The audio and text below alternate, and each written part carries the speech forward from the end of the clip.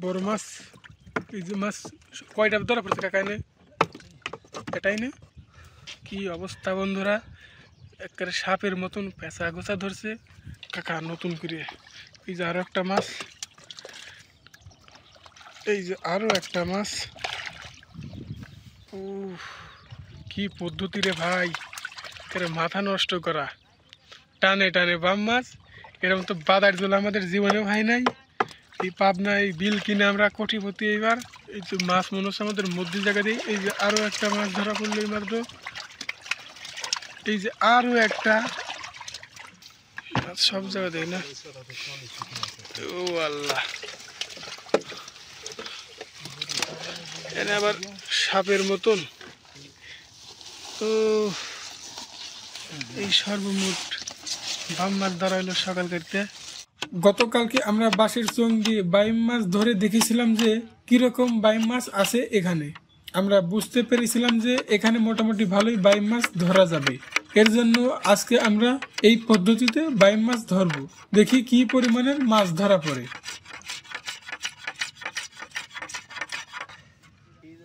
যে ভালি মনসায় বাম বাজলো নাকি এখনই? কি বাজতেছে? জানে নাই তো নাই না। এই যে মাছ এই যে মাছ এই যে মাছ বাম মাছ এটা কি মরা মাছ উঠছে নাকি কাকা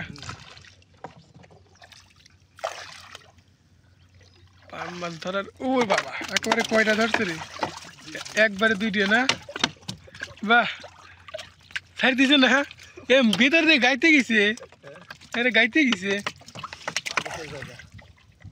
খুঁজেই পাচ্ছ না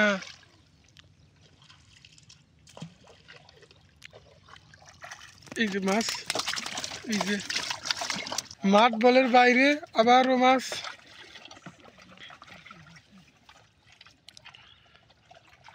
ও সর্বোচ্চ বড় মাছ এখন ধরা পড়তেছে।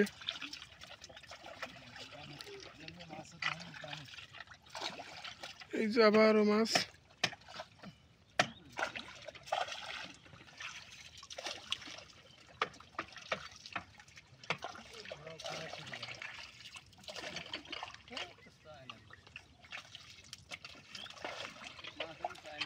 যে জায়গা মাছ আছে তো আছেই জানে নাই তো নাই।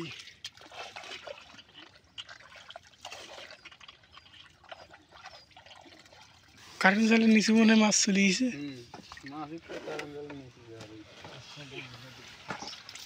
মাছ সব জায়গা দেয় না। ও আল্লাহ। এনে আবার সাপের মতন জট বাঁধিছে।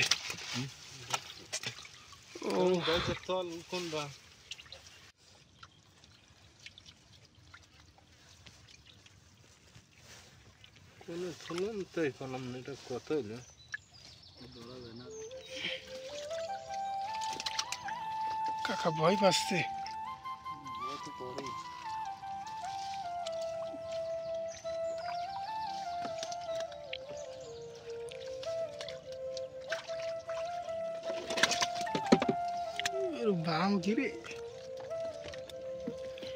এই যার করে না কাকা একটা কাম করে হ্যাঙ্গজ ভরি ভরিয়ে একবার উঠেও ওটা হলো এ কি রে? ময়লাই কাটে নাই হাম ই দিয়ে ধরা লাগবে না হ্যাঙ্গজ দিয়ে